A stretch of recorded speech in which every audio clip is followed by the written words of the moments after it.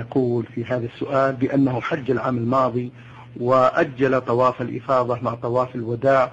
يقول وأديت آه، طواف الإفاضة ولم أكن على وضوء وأديت صلاة المغرب والعشاء أيضا ولم أكن على وضوء فأفيدوني بذلك. نفيدك بأن صلاتك المغرب والعشاء على غير وضوء صلاة باطلة وأنك آثم بذلك إن كنت تعلم أن هذا حرام وعليك أن تعيدها الآن. فتصلي المغرب ثلاثا والعشاء أربعا لأنك صليت خلف الإمام والمسافر إذا صلى خلف الإمام وجب عليه الإتمام. وأما بالنسبة للطواف فالراجع عندي أنه لا يلزمك إعادته لأنه ليس هناك دليل على وجوب الطهارة على وجوب الطهارة من الحدث الأصغر في الطواف. وهذا هو مختاره شيخ الإسلام ابن تيمية رحمه الله وانتصر له وأيده ببراهين من راجعها علم أن الصواب هو هذا القول.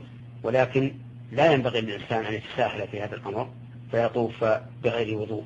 إنما لو وقع مثل هذه الحالة التي سأل عنها السائل فإنه لا يلزمه إعادة الطواف وحجه قد تم.